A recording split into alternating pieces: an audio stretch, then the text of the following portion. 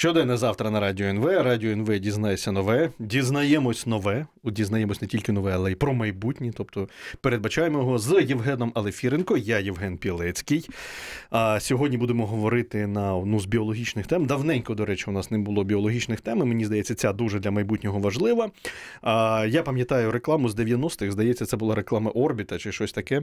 А, Коли е, показували якесь там віддалене майбутнє, іде симпатична жінка жінка, і про неї щось розповідає підліток, який каже, ну там дівчина навіть там вона виглядає десь років на 25, так приблизно. І хлопець каже, що це моя бабуся, і справжнього у неї залишились тільки зуби. Натякаючи натякаючи на те, що тільки Орбіт дозволив їй ці зуби зберігти.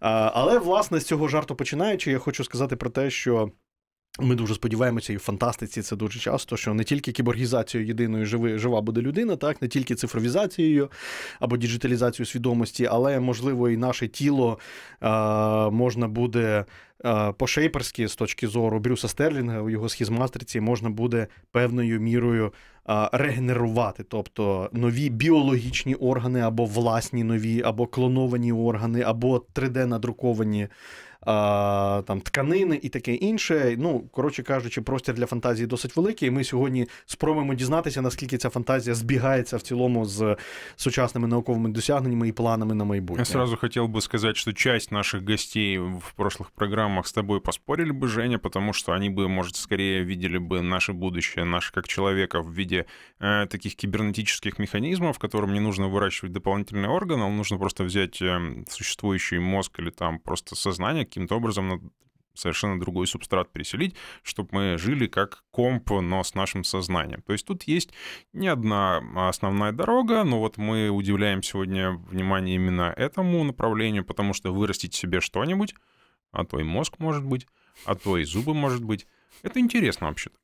Ось, і власне сьогодні тоді ми будемо говорити про а, ту ситуацію, коли людям все-таки хочеться зберігти ось цю свою, ну принаймні, нинішню людську природу, можливо, трошки її покращити або сильно покращити, але щоб м'яке і живе, щоб воно залишалося. Говоримо сьогодні з Ольгою Масловою, кандидатом біологічних наук, популяризаторкою науки і співзасновницею проекту Нобілітет. Привіт! Привіт. А, Ну, дивись, ми тут уже так трошки там наговорили якихось ідей. Давай спробуємо спочатку поговорити не про віддалене майбутнє, а про те, що є сьогодні, а, які вже є дослідження, або які з'явилися нові технологічні або біотехнологічні можливості для того, щоб можливо, ну, хоча б не покращити наш вид, так, але підтримувати принаймні достойне здоров'я у, у цьому напрямку. Потому что мы вот это записываем программу в день журналистики, э, журналистов, и, и вот совсем недавно журналисты публиковали прямо э, такую новостную заметку о том, что сердце вырастили прямо маленькое, конечно, ну какое-то сердце. Это что? Я з приводу оці цієї якраз новини про ізраїльських вчених і серце робила великий допис докладний на Фейсбуці, тому що всі мене ним дістали цим дослідженням. Буквально за один день мені надіслали 10 посилань на нього. І е, із позитивного це дійсно дуже крута робота, і це дійсно вперше зробили спробу друкувати чимось справді живим. Тому що все, що до того писали про 3D-друк тканин, малось на увазі, що друк іде не неживою якоюсь субстанцією, якимось певним матриксом, там певною речовиною, там колагеном, чим завгодно. І потім в цю штуку заселяються певні клітинки, які там далі ростуть і щось формують. А, Ізраїльські вчені дійсно зробили біоінк, тобто вони зробили чорнило біологічного такого типу. Це було значно складніше технологічно, ніж все, що до цього робилось. І це дуже круто для того, щоб робити певні патчі, тобто заплатки такі угу. на органи, на пошкоджене тканинне серце. Це дійсно спроба а, зробити таку тканинну структуру оцим 3D-принтинговим способом, тобто 3D-друком. Але знов таки тут е, не, не в день журналістики будь сказано, як то кажуть, але трошки перебрехали всю цю історію саме в заголовках.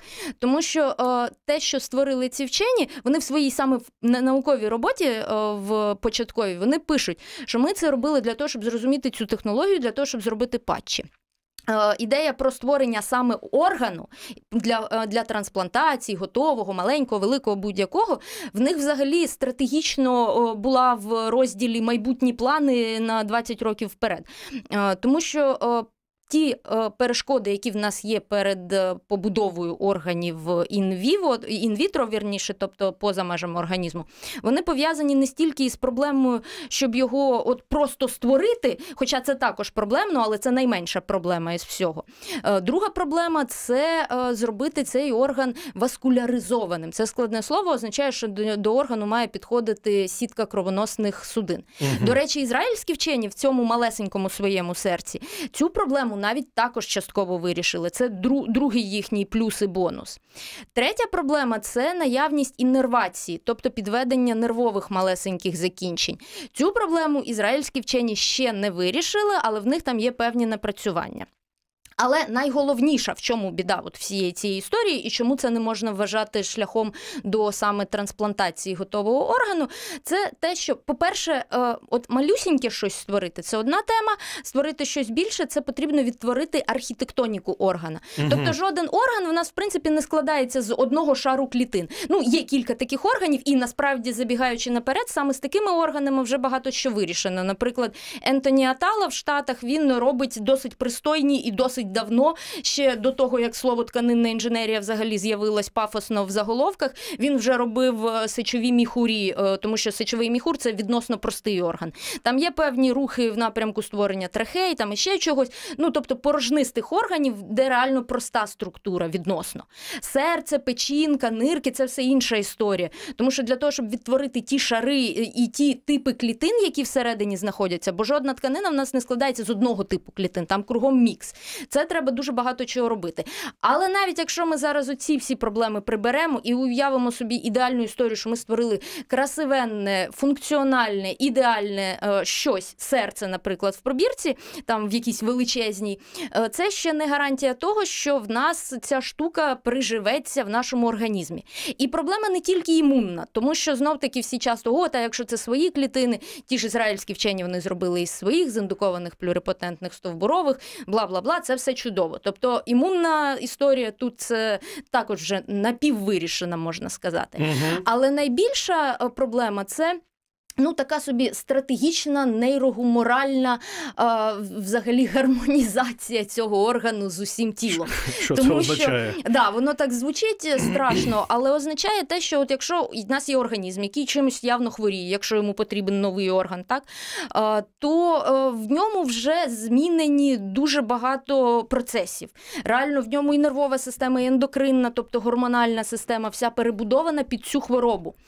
І якщо ми виймемо щось погане, умовно кажучи, і вставимо швидесенько щось дуже хороше, красиве, ідеальне, то абсолютно не факт, що мало того, що воно по всіх всіх всіх параметрах оцієї васкуляризації, кровопостачання, там іннервації, цього всього під'єднається ідеально, так і ще воно має саме от прижитись і вбудуватись в усю цю стратегічну систему. Тобто, якщо у чоловіка алкогольний цирроз печени, йому поставить новую напечатанную печень, то она скажет, а я здесь не, незачем, тут все без мене. Ну, тобто скаже, «Е, це це якийсь організм організм алкоголіка. Так, да, вона вона да, може давай трохи я, здивуватися. Я, Але насправді з печінкою це ну, не зовсім можливо коректний приклад, тому що печінка в нас один з найбільш таких органів, що в принципі регенерує, і в печінці можна так читерством займатися, можна так по шматочку під'єднувати, і це буде допомагати е, е, відновити все-все-все.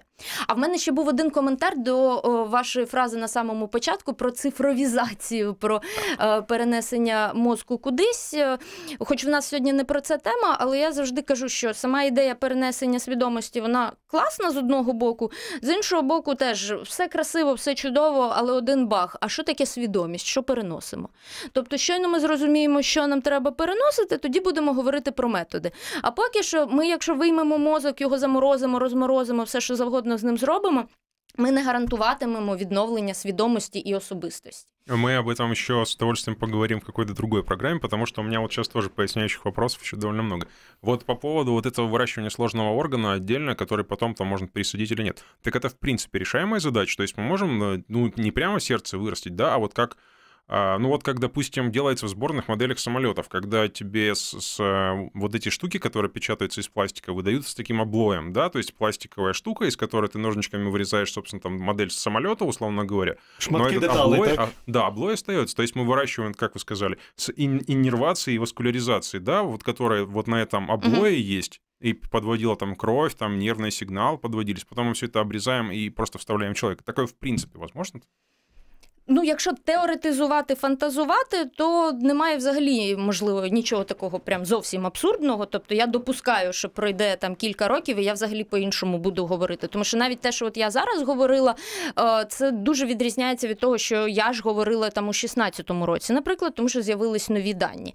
Тобто, це е, абсолютно логічно, що можуть бути якісь зміни, і такі варіанти теж будуть можливі. Але мені от суто суб'єктивно на базі тих е, я можу вже сказати більше 10 років в регенеративних технологіях, яких я є. Мені здається, що найбільш такий з одного боку простий, з іншого боку, адекватний спосіб це якраз не шукати, не гнатись за заміною повного органу. Бо в нас якийсь такий трошки фетишизм на оце повністю повністю готове серце, повністю готове печінка, там ще щось повністю готове. Ні. Е, варто, напевно, що акцентуватись на тому, щоб відновлювати, е, коли починається тільки якась проблема, коли не треба повністю вирізати вирізати цей орган. А от ставити ці патчі, заплатки, тканинно-інженерні, якраз з клітин, з тканин, з цього всього, також з застосуванням тих же самих стовбурових клітин і всього іншого. Але не гнатись за оцею повною заміною. Е, а якщо ми не гонимо, якщо немає цієї гонитви за повною заміною, то можливо вже є якісь технології, тому що можливо коротко так е, ти опишеш, які вже в наявності є у нас технології, які допомагають ну, ось патчі, наприклад, ти кажеш, наскільки їх починають застосовувати. Я пам'ятаю, що в принципі, наприклад, там вирощування шкіри таких невеличких шматочків шкіри, uh-huh. так, там фактично там, я не знаю, якісь прямокутнички, які накладають прямо на уражені частини, так, і вони там потрохи починають там приживатися. Це Ця технологія, в принципі, вже потрохи працює і іноді її застосовують. А що ще можна додати? Ну зі шкірою там взагалі цікава історія, тому що о, шкіра дуже потрібна людям, в яких страшенні опіки, там більше 50% тіла, коли обпечено, то треба щось робити. І о, тут дуже багато таких екстравагантних навіть підходів. Там інколи, наприклад, застосовують спреї із клітинних продуктів, тобто, коли не самими клітинами зверху щось прикривають, а беруть так зване кондиціоноване середовище, тобто це середовище, в якому жила клітина, і в якій виділила найголовніші свої фактори, різні фактори росту, цитокіни, там всякі різне потрібне нам. І оце забирається, і цим пшикається буквально так на поверхню рани, і відповідно там дуже класні результати. Плюс е, патчі із так званих неонатальних органів. Неонатальні органи це в нас пуповинна, сам пуповинний канатик, наприклад, це там шматочки Плацента. плаценти, угу. амніотичні різні оболонки. Їх так само, по-перше, це класне джерело, тому що нікого не треба заради цього е, якимось операціям піддавати, тобто це все е, доступне. І можна взяти, наприклад, там варто новими драглями пуповини. Це от сама е, сам шнурок пуповини, просто тема моєї дисертації, мій улюблений об'єкт. Оцими драглями можна прикривати будь-які пошкодження, і вони будуть, е, по-перше, виділяти певні речовини. По-друге, там є е, клітини мезенхімального походження, досить ранні, тобто досить стовбурові. І е, це все допомагає дуже швидко регенерувати цей орган. Ну, крім шкіри, таке можна робити, наприклад, при гастрошизісі. Це така страшна патологія, при якій дитинка народжується, а в неї черевна порожнина не закрита, тобто в неї вивалюються, грубо кажучи, органи. І різний ступінь цієї тяжкості патології може бути. В когось зовсім все розкрито, в когось маленька дірочка. І от цю дірочку можна також прикрити власною пуповиною, і це дасть э, значно кращий результат. Вот эти примеры нас немного спустили на землю, но это, это реальность, поэтому это интересно. Должны уйти на новости, скоро вернемся. В гостях у нас Ольга Маслова, кандидат биологических наук и соосновательница проекта «Нобилитет». Оставайтесь с нами, скоро вернемся. Щоденно завтра на радио НВ в эфире Евгений Пелецкий и Евгений э, Малефиренко. В гостях у нас Ольга Маслова, кандидат биологических наук, соосновательница проекта «Нобилитет». Говорим мы о регенеративной медицине, что может быть более яркого и оптимистичного для нашего будущего. Я хотел бы высказать свое предположение. Ольга Маслова вот в прошлой части сказала, что вот мы, журналисты, дескать, смотрим на все это как-то слишком, слишком футуралистично и, и говорим, вот давайте руку там поменяем, или ногу, или голову. Я думаю, что мы просто разбалованы нашим, э, нашей пересадкой органов, которая уже сейчас существует, да, вот этим донорством, когда вытаскивают сердце и пересаживают. То есть мы убедились, что это работает. А когда речь идет о том, чтобы набрызгать э, там препарат кожи, да, который вырастет нам кожу, это ну, это кажется пройденным этапом. А, интересно вот в этой вашей идее о замене части органа, который там дает сбой, в общем, как-то проявляет болезнь. а, при каких показаниях это может быть? И чем это лучше, чем, не знаю, у того же донора взять часть печени там или что-то такое? То есть в каком случае врачи скорее будут обращаться к вам, а не к, как это называется, к донорам, да, вот по той процедуре? Ну, це знов таки дуже футуристичні і суб'єктивні частково думки будуть, але е, в принципі, все, що чуже для нашого організму, е, воно так чи інакше все одно чуже. Звісно, що краще чуже, ніж лежати в труні. Але е, в принципі, якщо є вибір між чужим і своїм, то завжди е, варто все-таки до до свого звертатися. Тобто це будуть дизайнерські органи, які будуть вирощуватися... Так, так. Ну, за деякими винятками, єдині винятки, коли своє гірше, ніж чуже, це винятки, коли е, є якась генетична хвороба. Угу. Тобто, е, коли, наприклад, вам рекламують, е, що повинна кров власна краще, ніж чужа, ніж донорська, то тут є нюанси. Тому а що насправді е, да, ну, тому що насправді є деякі захворювання, при яких спеціально підбирають донорський зразок тої самої пуповинної крові, але не свій, тому що свій зразок несе ту саму патологію, по суті, яку ми хочемо вилікувати. Тому є певні моменти, коли і донорські органи це, це класна ідея. Але чому все-таки от своє і таке поступ? Поступове краще, тому що організм у нас дуже така в лапках е, розумна система. Тобто, насправді, ми з моменту поєднання сперматозоїда з яйцеклітиною ми пройшли купу якихось складнющих історій в своєму житті. Ми на будь-якому етапі могли загнутись. Тобто, те, те, що ми народились, це взагалі супер щастя. І що ми там дожили до якогось певного етапу, і в нас, в принципі, більш-менш все ок з організмом і все на місці. Тому, коли ми в цю систему вносимо якісь такі е, тактичні зміни, то вона це сприймає адаптивно, компенсаторно, тобто вона все все робить, щоб, щоб все зберігалось в певному гомеостазі, тобто в балансі. Якщо ми вносимо щось інше, то це завжди такий маленький челендж для організму, типу, а що з цим робити? Тобто це витрата якихось додаткових е, зусиль для організму И угу. подобрать дефолтный, ну, там, усредненный, условно, условно говоря, орган гораздо проще, чем взять просто вот другого человека, который мог бы там сбалансироваться за свою жизнь абсолютно по-другому. Проще просто організм. Я, до речі, у мене буде така невелика... Ольга Маслова киває. Так. Безусходно хрюкає по-японськи. У мене, у, мене, у мене буде така, напевне, потім серія питань, але я почну з одного. Справа в тому, що іноді у пресі і у наукових журналах, в тому числі, це, це звичайно, не преса, а тим, тим не менш так. Тому що є скандали, не будемо зараз про це, це не наша тема. А, Говорять про те, що е, ще однією такою потенційно можливою стратегією може бути вирощування органів, наприклад, е, або або відбирання органів від звичайних там тварин, наприклад, там від тієї ж свині, так, або вирощування людських органів на тваринах, або всередині тварин, так, або просто під'єднавши uh-huh. їх якимось чином там до, до цього вирощуваного органу і таке, і таке інше. А, Я думаю, зрозуміло, куди потім питання буде йти, так, але тим не менше, що про це можна сказати? Це взагалі така. Е, прогресивна стратегія, чи все-таки нам доведеться шукати щось інше? У 17-му році був такий е, пік е, публікацій на цю тему. Я теж давала багато коментарів, тому що було кілька публікацій про застосування свині як такого носія певних органів для людини. Потім ну це логічно, тому що всі весь час говорять про подібність людини і свині по деяким параметрам. Ну це насправді теж дискутивне питання, угу. тобто не будемо зупинятися зупинятись. Може, але... може, мавпи? Ну насправді теж там не все так просто. Тут е, історія така: з одного боку, стратегія ніби цікава, логічна і щось в цьому є.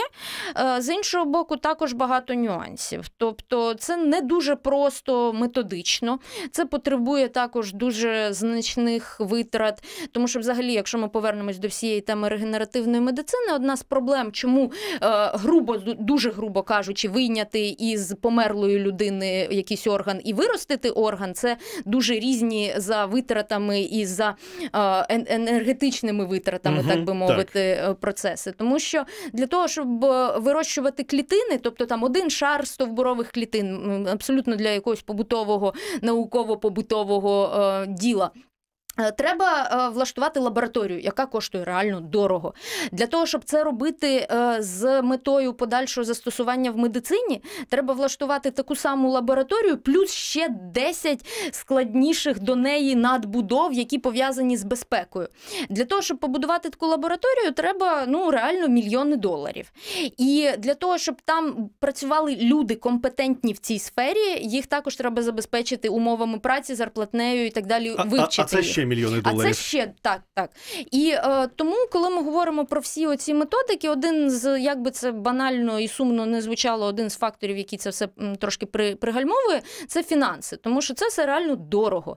І от для того, щоб виростити таку свиню, яка буде максимально чиста, яка буде максимально здорова, для е, яка буде повністю придатна для цієї історії, це також дорого. І е, ми ж не можемо просто знов таки взяти там рандомну свиню, щось її рандомно підсадити, навіть якщо воно приживеться, хоча якщо це недостатньо чисто, то воно ще й не приживеться, але це вже спойлери. І потім з неї щось вийняти і комусь знов таки пересадити, то це так на грані фолу історія. Ну вся. и это явно не будет какой-то свиноводческий комплекс, в котором угу. просто все органы выращиваются на свиньях. Угу. То есть должна быть еще Целая животоводческая вот. Ферма, назвати Я просто пам'ятаю, продовжуючи трошки ще це питання, я просто пам'ятаю ця фотографія, яка десь також з'явилася десь у 15-16, здається, році, де я не знаю, чи це можливо це взагалі фотошоп. А, Просто хочу перепитати, коли значить, сидить сидить якась гола миша, так, а у неї зі спини торчить е, вухо вухо людське. так. Ні, це якраз не фотошоп, і це це, це нормальна історія. Це пробували таке робити вдало, але тут знов таки треба е, уточнення зробити, що от вухо, ніс е, це такі хрящеподібні переважно штуки. І з хрящами насправді вже досить багато зроблено в плані регенеративної медицини, продовжуючи тему того, що вже є. Так от з хрящами вже реально є дуже багато методів і відновлення вушної раковини, і ринопластики, тобто з носом пов'язаною.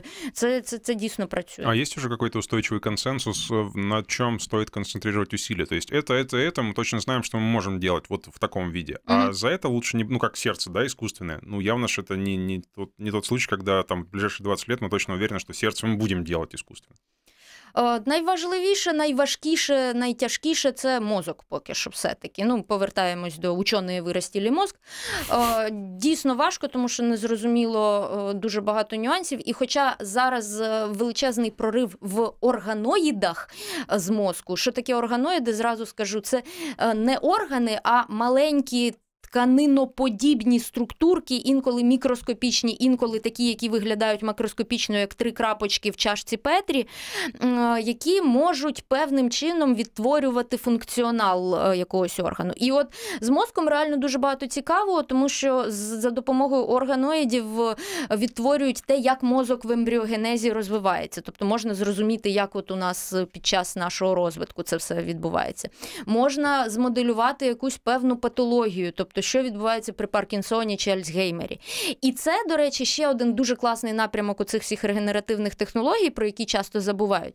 Що ці технології нас можуть наближувати до індивідуалізованої персоніфікованої медицини не шляхом вставлення органів, а шляхом тестування певних ліків на цих mm-hmm. тканинах. Так, і власне тому, тому, що якщо в нас є якась е, хвороба, є людина, яка хворіє, наприклад, е, на паркінсонізм, і є там 20, умовно кажучи, ліків, з яких можна вибрати. Сама людина не перепробує за своє життя ці 20 ліків, тому що ну не, не, не вийде це зрозуміти. Це негуманно і нелогічно.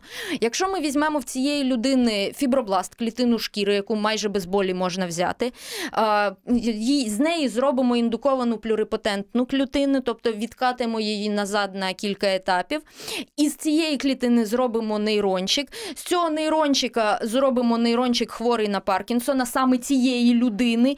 І на ці нейрончики покапаємо е, тими 20 ліками і одразу побачимо, де є відповідь, де немає. І людині вже дамо не 20 ліків, а там два варіанти перепробувати, наприклад. І це буде значно крутіше. О, це дійсно крутий варіант. А, Тобто, ми ми зараз так власне дивимося, що є. Мені завжди подобається, що є альтернативні варіанти того, як, яким чином це можна зробити. Тобто, власне, ми не вирішуємо так топорно цю проблему, так, угу. тому що у мене ще є питання таке топорне, але мені здається, що ось такі варіанти, які пов'язані перш за все з персоналізованою медициною. Не будемо зараз там про персоналізовані якісь там генетичні засоби і таке інше про покращення. Але тим не менше, це дійсно вихід, тому що ми фактично робимо 20 таких мікроклонів цієї цієї людини. Так на них тестуємо і бачимо результат одразу і на вже на на основно, основній людині, людина номер один, так, власне, такий батько, условно, мати. Так, інві, інвіво вже лікуємо. І ось е, тоді ще питання, продовжуючи тему, я хочу завершити цей е, цикл своїх питань. Я пам'ятаю, що був такий досить цікавий фільм. Е, він називався Острів з Юйном Макгрегором і Скарлетт Йоханссон, де. Е, фактично вирощували клонів людей. Так, там була проблема, що їх тримали не у вегетативному стані, так, але для того, ну це вже була така художня видумка, mm-hmm. так. А якщо власне вирощувати дійсно, наприклад, там я, я зараз говорю про клонування органів. Ось, якщо виростити таку альтернативного клона людину і потім з нього добувати ці органи, можливо, цей варіант буде, тому що там вже буде 100%, 100% генетична сумісність, і не тільки там відповідно і імунна сумісність буде, і все інше. От мені завжди цікаво, от коли цю о, думку люди розвивають, вони думають, що для того, щоб виростити людину нову, 30-річну, їм потрібно буде почекати ці 30 років знову. Ну тобто тут проблема реально. Я зараз упускаю ті виключно технічні методичні проблеми, Там яких купа. Етич, етичних маса е, ще. етичні також купа. Але от момент з часом. Ну тобто, окей, ми прибрали всі інші проблеми, от виростили аналогічну людину, але ж ви її не виростите за рік е, з, з точки запліднення умовно до точки такої, як є. Е, замовник. Mm-hmm. Ну тобто, ну це, це це фізіологічно на даний момент трохи маразматично виглядає. При цьому, от сам саме формулювання терапевтичне клонування, тобто створення а да, це це, це є е, такий термін, є репродуктивне клонування, терапевтичне клонування. От терапевтичне клонування це в принципі от все те, що ми розказуємо про створення якихось тканин із клітин цієї людини. Його ну так з натяжкою можна навіть так називати. Хоча це також це термінологічні тематичні такі ігри. Насправді. Це такі е, костелі, так фактично да, да, ну це угу. дуже криво це все. Але е, якщо говорити про те, що це клітини цієї самої людини, які там поза межами її організму щось зробили, то ну так 7-8 можна ну, це є, притягнути. Є насправді дуже цікавий варіант. Е, я не знаю, особливої особливої форми страховки. Дійсно, тут зрозуміло, що ви не виростете за за, за, за два дні 30-річну людину. Але якщо знаєте, я собі просто уявляю такий у нелюдському у нелюдському майбутньому з, зірваною уже етикою, коли людина там дитина народжується, і ось момент народження робиться її клон. Фактично, ну там там буде різниця. І він він там у вегетативному стані зростає якимось чином, і в необхідний момент там з нього витягаються Ты органи. Киберпанковских комиксов вже не перечитал. Нам пора уходить на новости, а потом я альтернативную идею предложу. В гостях у нас Ольга Маслова, кандидат биологических наук, соосновательница проекта «Нобилитет». Это щоденно завтра на радио НВ. Скоро вернемся. Оставайтесь с нами. Третя заключна частина щоденного завтра. В студії, як завжди, працюють Євген Лефіренко і Євген Пілецький. Говоримо про регенеративну медицину не тільки нашого, нашого часу, але й майбутнього. Говоримо з Ольгою Масловою, кандидатом біологічних наук, популяризатором науки, співзасновницею проекту Нобілітет. І я одразу напевне передам слово своєму колезі, тому що а, а... потому что в конце прошлой части мой коллега рассказывал просто какие-то страшные истории про... Я даже и повторять их не буду. Есть, есть попроще лайтовый такой вариант. А почему бы просто не... Если у нас уже есть организм, в котором выращивали, вырастились когда-то одни органы, почему просто не присадить туда, ну ладно, не печень, да, какой-то другой орган, чтобы он там и дорос? Ну, у нас же в целом есть такая возможность создать вот тобто, эту... Так, у тебе услуг... буде дві печінки, ти будеш сам собі вирощувати нову. Вторая будет не 30 лет расти, а там, не знаю, полтора года. В целом этот вариант рабочий? Тут я насправді вперше чую таку версію. Це це класно, щось нове. А, Серйозно, я ізобрів, да. мені патентувати. А, з, з іншого боку, ми повертаємось до проблеми того, що в нас все в організмі дуже класно продумано. Тому, якщо ми в нього вставимо якийсь рандомний шматочок, нехай найздоровішої, найкрасивішої тканинки, І навіть власної, навіть власної, то це буде, м'яко кажучи, для нього е, здивування. І він подумає, що мені тепер тепер з цим робити, а чи не знищити мені цього загарбника, який хоче стати краще, ніж моя рідна печінка, чи нирка, чи хто там ще є. Е, і ну, на певно, що це може розламати трохи всю систему, тому що насправді в нас е, все заточено під те, щоб все зайве е, закінчувало життя суїцидом, тому що в нас логічний кінець життя кожної клітини це суїцид, це апоптоз.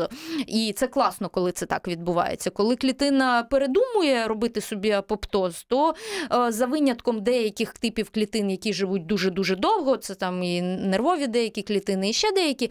Але зазвичай, якщо ця клітина передумує, то це шлях до, до новоутворень. Так. Угу. От, Тому, якщо в нас хтось от такий зайвий, красивий раптом з'явиться, то на нього будуть дивитись дуже так.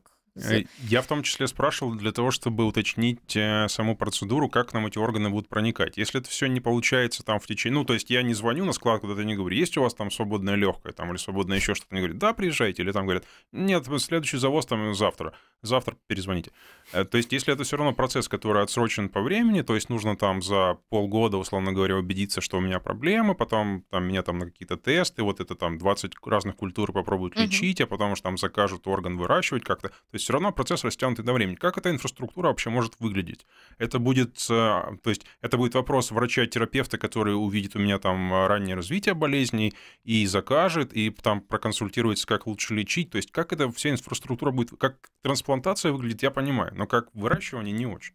Ну тут має бути явно співпраця двох компонентів. Перший, так би мовити, виробничий, тобто це місце, де будуть лабораторії, в яких будуть стояти певні біореактори, так звані, в яких будуть створюватись певні структурки, готові для якісь напівфабрикати, грубо кажучи. Тобто, якщо це якісь універсальні будуть структури, то вони там будуть готові до вживання. Якщо це будуть, наприклад, матрикси під власні клітини, то вони будуть як напівфабрикати готуватись, потім там власні клітини е, будуть під'єднуватись під це все і створюватись якась певна тканинка.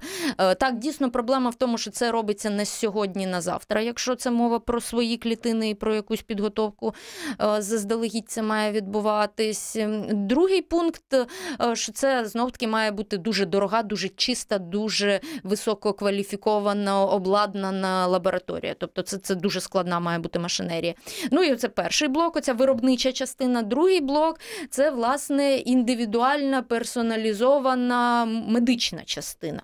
Тобто, так як ви правильно сказали, спочатку має бути встановлений адекватний діагноз, має бути зрозуміло, що саме треба замінювати в яких обсягах, а потім буде надаватись умовно якесь замовлення на оцей виробничий виробничий комбінат, де буде щось для того готуватись. Вот сейчас это просто стало для меня гораздо более ясным. А по поводу... А у тебя реальные вопросы, в смысле, ближайшего будущего или отдаленно? Ні, ну у мене, як правило, питання пов'язані вже з віддаленим майбутнім. Якщо ми вже до, до, до такого питання доходимо, то е, я знаю, що зараз робиться досить велика кількість експериментів, які пов'язані так чи інакше з абіогенезом. Ось коли намагаються все-таки з неживої природи, з речовин створити створити якісь, е, скажімо так, ну принаймні принаймні органели окремі клітини, тобто клітина там це окей, хоча б створити якусь подобу, можливо, там РНК, ДНК, принаймні, і таке інше, або віруса, хоча б. Ось який перебуває на межі живої неживої природи. І я так просто мені цікаве питання. Справа в тому, що ми зараз говоримо про те, що ми беремо, скажімо так, або клітини. ну, Фактично так, що у нас основна ідея це треба свої клітини, власне, можливо, там підрихтовані трошки, щоб у них не було якихось. Ну, За винятком генетичних так, нюансів. за винятком генетичних угу. нюансів, так, ми їх там нібито підчистили, так, і потім їх там накладаємо на матрикс якісь, так, і вони там починають виконувати свої функції. І у мене ось виникає питання, чи можливе таке взагалі, чи можемо ми про таке думати, щоб синтетично робити такі тканини, тобто вони, там, скажімо, у мене є певна медична карта з таким досить, ну я не знаю, це для штучного інтелекту вже, наприклад, так, в якій досить там е, точно описані вже мої біохімічні процеси на молекулярному рівні, так. Я зрозумію, що це зараз важкувато, але я думаю, що ще за якийсь час це буде можливо. І потім, фактично, цей 3D-принтер Ось з речовин, можливо, я не знаю, там з якогось там бульйону, на, на, окей, навіть не повністю синтетичні, так, але з якогось біобульйону починає робити, додаючи необхідні, скажімо, там. Е, там необхідні, там, е, скажімо, там протеїни або ще щось для того, щоб це були фактично мої клітини. Ну, це якесь же над-над-над майбутнє. В принципі, це вже не моя тематика з приводу абіогенезу і цього всього, але е, мені здається, що це буде, м'яко кажучи, дуже дорого. Е, з іншого боку, це знов таки питання е, визначення поняття життя.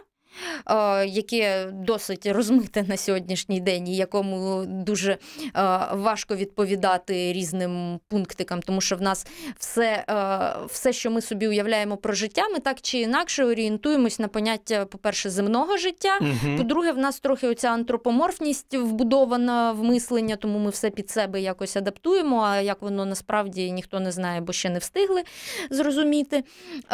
І оці всі процеси там створення România чогось живого з неживого, вони зазвичай ж на на землі в усякому разі займали дуже багато часу. Ну це теж такі дуже повільні процеси. А, а якщо спростити це питання, якщо ми зробимо, наприклад, а, такий важливий момент, наприклад, пов'язаний з продовженням життя, якщо, наприклад, мої клітини, окей, ми не займаємося цією вже наднауковою фантастикою, тобто така вже богоподібність, фактично, так, коли ми вирощуємо організм, е, організм з атомів молекул, окей, це це, це, це занадто далеке майбутнє. Але не якщо уявити собі таку ситуацію, що наприклад, екземпляри моїх тканин. З якогось там віку, наприклад, мене 30-річного, скажімо так, або 20-річного, вони якимось чином зберігаються, тобто їхній генетичний матеріал залишається, навіть можна там, я не знаю, підтримувати якийсь нормальний вегетативний стан у клітин, які мої 30-річні клітини, які живуть, і ось мені 60 років, і я хочу собі свою власну 30-річну шкіру, печінку, очі. Ну, так ми просто про банкування інше. клітин зараз поговорили. І оце оце і, найпримітивніше. І, як, насправді. І, і як воно? Воно хоч примітивно, але здається, все-таки приємно буде, коли у мене буде у моєму там віці 70-80 моя власна 30-річна печінка. Ну, по-перше, вона не буде прямо ж зовсім 30-річна, і з іншого боку, з питаннями банкування тут о, подвійна історія. З одного боку, це реально відпрацьована технологія, яка вже не майбутня, яка абсолютно сьогодні, і навіть вчора можна сказати. Тобто банкування клітин, я тут підкреслюю, що не органів, не організму, бо ці приколи із кріонікою, що заморозь свій мозок, потім це ще так не працює. Але зберегти реально свої клітини можна, і дійсно технології рідкого азоту дозволяють там при температурі мінус 196 в дзеркалі чи мінус 160 в парах тримати більш-менш в нормальному стані там 30 і більше років. Е, і, в принципі, якщо воно там за 30 років не споплюжилось, то є вірогідність, що і за 300 років воно не споплюжиться, тому що все, все нормально. Там критичні нюанси це момент замороження, щоб це було правильно зроблено, момент використання правильного кріопротектора, тобто речовини, яка буде попереджати оце Е, руйнування клітини е, крихтами льоду, криги, яка буде. І е, третій критичний нюанс це розмороження, тому що вони можуть класно лежати, але потім ви їх неправильно розморозили і все навернулось. От Тому е, з клітинами це, в принципі, питання більш-менш вирішене. Інша справа е, вистрілить чи не вистрілить. Тому а, я що... правильно понимаю, кстати, что вообще вся эта идея с замораживанием собственных клеток, ну, там, 40 лет назад, условно говоря, она не очень полезна, потому что если ты не потерял весь, ну, там, если у тебя половину тебя не утратили, то есть если можно хоть какой-то кусочек этой ткани витащить і зробити з нього як там плюріпатентну, да, то все те ж саме буде із. Ну насправді ні. Е, отут е, є е, нюанс, і цей нюанс полягає в тому, що ті клітини, які в нас залишаються до наших там 60-70 років, умовно, вони з нами старішають. Вони так чи інакше з нами всі ті негаразди переживають за політиків, хвилюються, курять, п'ють і так далі. Все все з ними погано стає. Ну тобто, ми, якщо зовсім людина ще не померла, значить ще не дуже погано, але все таки гірше ніж було там в 20 років. Свої печенки я телевізор смотреть не даю, кстати. А, хотілося б... Ви, вибач, будь ласка, ще це ну, я буквально 20 секунд, і е, виходить просто така ситуація, що якщо нам вдасться це робити, то буде як в рекламі Орбіту, коли бабця ходить, у неї її 30-річна шкіра, 30-річні органи і таке інше. Тобто такий, здається, не дуже поганий варіант. Окей, там, скажімо, мозкові клітини ми так просто не замінимо. Ось е, це, звичайно, там питання вже іншої розмови, але тим не менш, мені здається, що тут є якась надія. Я на самом деле... Але наде- ентропія завжди м, все одно перемагатиме, і ми розвалюватимемось. Мы об этом подумаем чуть позже, пока мы времени еще немного есть. Я вообще думал, что ты э, хочешь, чтобы тебе вырастили сердце крокодила там или четвертую руку. И, в общем-то, мой вопрос был как раз об этом. А это все развивается только в в курсе, ну, действительно, медицины, как излечивание болезней там или предотвращения или что-то такого, или ну, мы знаем, что есть биохакеры, да, мы знаем, что есть люди, которые хотели бы заиметь себе третью руку или что-то еще. Это этическое нет или есть э, предположение, что и туда оно пойдет? Знов таки дуже примітивна вся проблема в тому, що гроші. Одна справа, коли ми витрачаємо гроші на те, щоб лікувати людей, в яких якісь страшні хвороби чи боротись із процесами пов'язаними зі старінням. Інша справа, якщо ми витрачаємо гроші на вирощування третьої руки по приколу. Тому, відповідно, якщо хтось із тих, хто хоче третю руку, вкладе кілька мільярдів доларів в створення такої лабораторії, оплатить працю, то окей, будемо вирощувати третю руку. Вы Нема только проблем. пообещаете миллиардеру, на самом деле на эти деньги еще какую-нибудь индустрию разовьете нормальную медицину. А, а, у нас осталось меньше двух минут, поэтому очень бы хотелось такую, ну, что-то вроде дорожной карты, как это сейчас очень а, отвратительно звучит, но часто говорят. Да, Что мы получим первыми, скорее всего? Что первое к нам получится вот регенеративного, ре- регенеративного и практичного, что будет нас лечить? Ну, те, що Ну, на кроме- кроме сьогоднішній кожи, которая- да, на сьогоднішній день вже є е, просування із регенерацією кісток. Е, це, це реально важливо і круто. Рухаємось з печінкою, але не про повну печінку, а із застосуванням її власних регенеративних резервів. Е, рухаємось в напрямку патчів для різних органів і для серця, в тому числі. Е, відновлюємо структури таких речей, як кінцівки, ті самі, але не, не просто вирощуємо руку, а там якісь конкретні знов такі кістки, м'язову частину відновлюємо і такі, таке інше. Е, З кишківником є певні просування з тонким кишківником, це те- також важливо. Е, З мозком в основному не в, м, в бік регенерації, а в бік тестування все-таки йде все. Е, Ну і з хрящами, і з якимись такими дрібними дефектами вже навіть можна сказати, що вміємо це робити. А, И на- просто финальный уже вопрос, и можно даже цифрой. В каком году, скажем, это станет обычным делом? То есть, когда я обращаюсь э, к, к врачу, они ставят диагноз и говорят, скорее всего, вам в регенеративную медицину. Ніколи не вгадую з цифрами, але я думаю, що через кілька років ми зможемо цю цифру сформувати. От так. А Вернемся даже быстрее. В гостях у нас была Ольга Маслова, кандидат биологических наук и соосновательница проекта «Нобилитет». Программа «Щоденно завтра» завершается на радио НВ. В гостях в эфире с вами работали Евгений Пелецкий и Евгений Алиференко. Почуємось. Дякую.